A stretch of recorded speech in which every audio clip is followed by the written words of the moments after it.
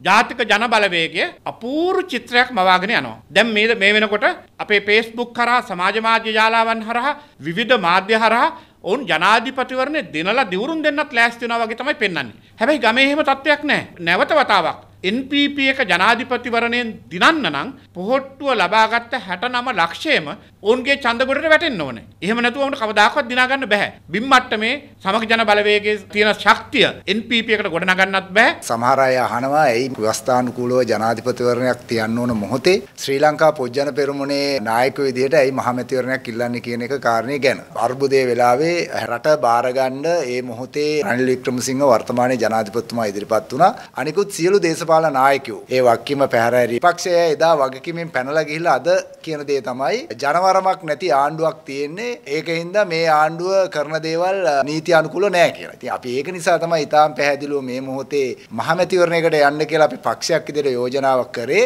අපිට හරියටම ජනමතය මොකද්ද කියලා උරගා බලන්න ඕන නිසා තමයි පාස්කු ප්‍රහාරය සිදුවන අවස්ථාවේදී මේ රටේ ජනාධිපති ධූරයේ ඉසිලූ මෛත්‍රපාල සිරිසේන අවුරුදු පහකට ඉස්සෙල්ලා සිදුවෙච්ච මේ ඛේදවාචකය පිළිබඳ අලුත් තොරතුරු ඉදිරිපත් කිරීමට දැන් උත්සාහ දරන්නේ මැතිවරණ වර්ෂය. ජනාධිපතිවරණයට තව තියෙන්නේ මාස 7ක් විතර. ඉතින් රට මැතිවරණ වලට සූදානම් වන මොහොතක තමයි මේ මැදහත් වීම කරන්නේ. ඉතින් ඒක අනිවාර්යෙන් අදාළ සාධකයක් වෙනවා. අද අපේ සමාජයේ මුළු රටක් දෙකෝටි 25 ලක්ෂයක් ජනතාව නිදහස පිළිබඳ විලිමුදාවෙන් පෙළෙන වෙලාවක් මේ. තවදුරටත් මේ රට විනාශ කරපු මේ දුෂ්ට පාලනයෙන් ගැලවෙන්න ජනතාව විලිමුදාවෙන් පෙළෙනවා. අද එතකොට මේ රටේ තියෙන්නේ අපේ හාමුදුරනේ ව්‍යවස්ථානුකූලව සදාචාර සම්පන්නව ජනතා බලයක් නැති ජනවරමක් නැති පාර්ලිමේන්තුවක් සහ විධායකයක්. ඒ නිසා ජනතාව දැන් ඉදිරි මාස කිහිපෙදී බලාගෙන ඉන්නවා මේ ජනවරමක් නැති පාලනේ පන්න දාලා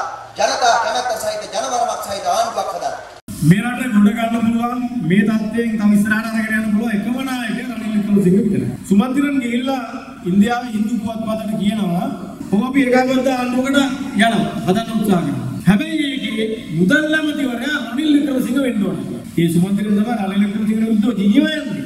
හැබැයි එයාට අදහසක් තියෙනවා වැඩිච්ච රට ආර්ථික වශයෙන් ගොඩ ගන්න නම් රනිල් අරගෙන කෙනෙකුට බෑ කියලා.